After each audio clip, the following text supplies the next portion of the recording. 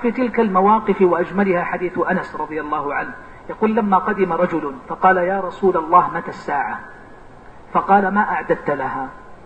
فقال ما أعددت لها من كثير صلاة ولا صيام ولكني أحب الله ورسوله. فقال له النبي صلى الله عليه وسلم المرء مع من أحب. في رواية قال له أنت مع من أحببت.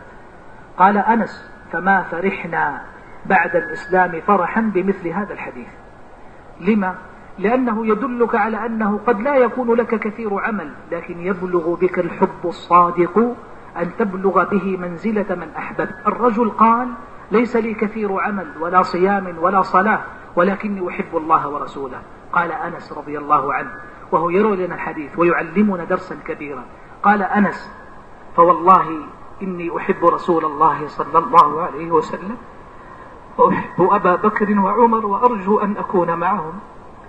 ونحن اليوم والله نحب رسول الله صلى الله عليه وسلم. ونحب أبا بكر. ونحب عمر. ونرجو أن نبلغ بحبنا ما لا تبلغه أعمالنا. ونرجو أن نبلغ بصادق السير على منهجهم ما لا تبلغه حسناتنا. اللهم قد جعلتنا في أمة محمد صلى الله عليه وسلم من غير أن نسألك. فلا تحرمنا صحبته وشفاعته يوم القيامة ونحن نسألك. اللهم أكرمنا بصحبته والحشر في زمرته واتباع سنته.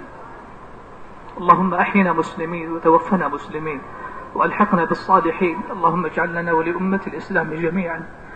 من كل هم فرجا ومن كل ضيق مخرجا ومن كل بلاء عافية. اللهم ارحم موتانا واشف مرضانا واهد ضالنا وثبتنا على الصراط المستقيم. اللهم إنا نسألك الهدى والتقى والعفاف والغنى. ونعوذ بك اللهم من زوال نعمتك وتحول عافيتك وفجاءة نقمتك. اللهم فرج كرب المكرومين ونفس هم المهمومين اللهم مكن لدينك وعبادك المؤمنين فوق كل أرض وتحت كل سماء. اللهم احفظنا والمسلمين جميعا بحفظك. واكفنا يا رب شر الأشرار. وكيد الفجار وشر طوارق الليل والنهار. اللهم ربنا آتنا في الدنيا حسنة وفي الآخرة حسنة وقنا عذاب النار. وصل اللهم وسلم وبارك على نبينا محمد.